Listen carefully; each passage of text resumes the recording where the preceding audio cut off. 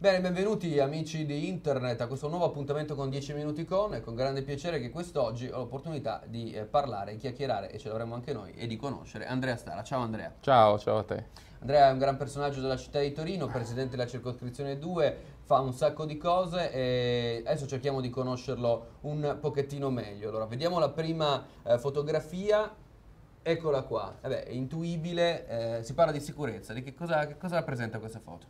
Ma questa foto abbiamo il sindaco di Torino e rappresenta una targa che abbiamo dato in circoscrizione 2 nella sede della Cascina Gioione a una persona, Michel Ngaba, una persona di colore perfettamente integrata nel nostro territorio ma che è stato aggredito eh, quest'estate durante un punto verde che noi organizziamo sempre in Cascina da dei ragazzotti che lo hanno aggredito in maniera molto violenta e eh, per fortuna noi avevamo un servizio di presenza eh, composto dai City Angel e eh, gli hanno salvato la vita. In, noi dopo questo episodio abbiamo voluto fare un ordine del giorno e eh, comunicare a tutti i residenti della nostra circoscrizione che eravamo assolutamente, condannavamo questo tipo di episodi e abbiamo voluto dare una risposta sociale. Il territorio ha dato una risposta meravigliosa perché in Cascina sono arrivate circa 800 persone,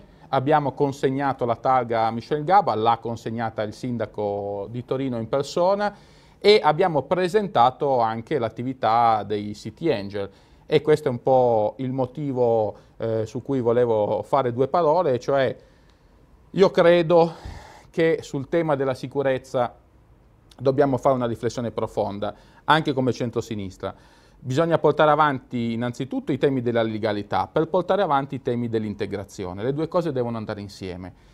E allora un'associazione di volontariato come i City Angel può essere utilizzata anche come presenza amica sul territorio. Ecco, Io... Per chi non li conosce, i City Angel sono quelle ronde che dicono? No, assolutamente. Io sono contrario alle ronde, sono contrario alla giustizia del fai da te e del far west Invece sono contrario a portare, a far sì che i territori vengano vissuti. Se un territorio... Sei favorevole a far sì che i territori vengano vissuti? Sì, sono favorevole a, a che i territori vengano vissuti con progetti, con realtà associative e anche, in questo caso, con i City Angel. Per cui se noi facciamo vivere un territorio, le persone che escono la sera, di giorno, eh, possono girare con tranquillità.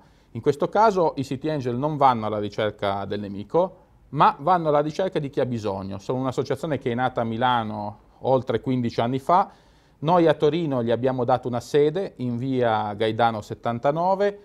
Proprio nella circoscrizione 2? Nella circoscrizione 2 e abbiamo attivato con loro dei servizi, un'associazione di volontariato ovviamente, in cui a parte il fatto che aiutano i bisognosi, portano il cibo ai balboni, le coperte, eccetera, ma oltre a questo hanno iniziato anche a eh, essere presenti in alcune aree del territorio, Parco Rignon, Piazza d'Armi, il mercato di Corso Sebastopoli, ovviamente in stretto contatto con la circoscrizione e con i vigili urbani. Per cui se succede qualcosa, se assistono a qualche cosa, un reato, un'aggressione, eccetera, ovviamente contattano immediatamente le forze dell'ordine, ma sono un deterrente. La loro presenza fa deterrente e poi ovviamente contattano le persone che sono sul territorio, aiutano un anziano ad attraversare la strada. Insomma, si può eh, dire il classico servizio d'ordine. No, non è un servizio no. d'ordine, è un servizio di aiuto alle persone. No. Se in un parco loro sono presenti, sentono le persone, chiedono come va, come non va, se hanno bisogno di qualcosa, sono lì ad aiutare il prossimo. Ripeto, non vanno alla ricerca del nemico, ma sono una presenza amica. Ovviamente una presenza ben visibile perché hanno delle giacche rosse e hanno un berretto, un casco blu e questo significa che hanno una visibilità che fa da deterrente. Bene, passiamo alla prossima fotografia. Eh, eccola qua, questa non è una fotografia, è uno schema. Zona 30 all'ora. Sei stato criticato perché dicevi che le macchine devono girare a 30 all'ora nel tuo quartiere, ma è vero? No, assolutamente. Noi abbiamo fatto un progetto sperimentale su un'area molto grande, di circa 10.000 abitanti nel territorio di Mirafiori Nord in una viabilità secondaria ed è un progetto di moderazione del traffico. Abbiamo semplicemente partecipato a un progetto regionale e siamo stati bravi perché lo abbiamo vinto e quindi siamo arrivati primi in assoluto rispetto a tanti altri comuni, abbiamo ottenuto un finanziamento complessivo da parte del comune e della regione di circa 600 mila euro ed è un progetto che ha visto all'inizio delle difficoltà, soprattutto da parte dei commercianti. erano preoccupati insomma, che con l'allentamento delle velocità, con la dissuasione degli attraversamenti parassitari, cioè le persone che attraversano una zona residenziale semplicemente per poi uscirne senza vivere quella zona, erano preoccupati magari che potessero esserci meno acquisti o meno eh, commercio. E il risultato? Il risultato è stato straordinario perché terminato il progetto eh, abbiamo visto che i giornali hanno intervistato gli stessi commercianti che sono stati entusiasti, le persone anche. Insomma, le macchine andavano più piano. le macchine andavano più piano, comunque no, c'era più sicurezza e abbiamo ricevuto una settimana scorsa i risultati sulla diminuzione degli incidenti e, degli, e del traffico e credo che il fatto che ci siano meno feriti e meno incidenti sia la soddisfazione più grande che ci siamo dati. Noi per studiare questa cosa siamo andati a chi questo progetto lo già porta e lo sperimenta da tanti anni, cioè a Barcellona. Aspetta che abbiamo un'altra fotografia, eccoti qua, eccoti qua a Barcellona con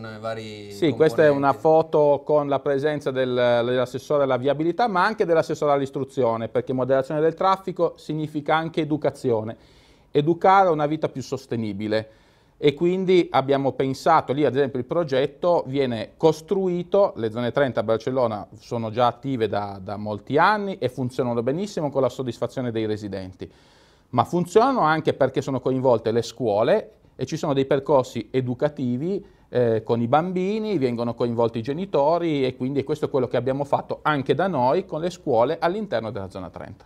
Beh, molto interessante questo progetto. Ecco qua, vediamo la prossima fotografia, eccola qui, una specie di... No, vediamola insieme, vediamo, chiedo anche di mandare l'altra. Ecco, prima e dopo. Che cosa è successo qui? Un miracolo? Ma allora direi di sì, nel senso che è un miracolo che è partito sei anni fa con la presentazione di un progetto europeo sulle periferie degradate, sulle periferie industriali e in sostanza Mirafiori Nord. Noi sappiamo che Mirafiori Nord ha avuto il peso e la fortuna a seconda dei momenti eh, legati allo sviluppo della Fiat.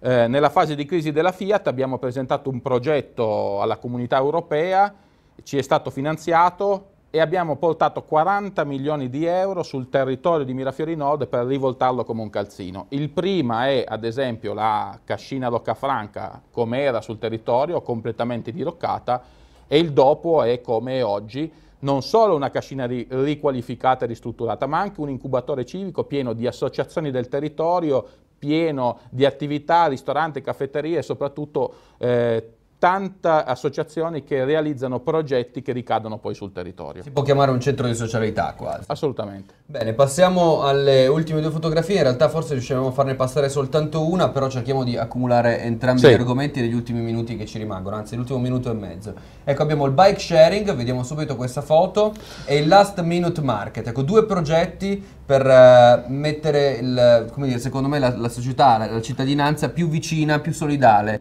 eh, più economica. Più a, legato, al, legato, al, progetto delle zone 30, il bike sharing. Siamo partiti in assoluto per primi.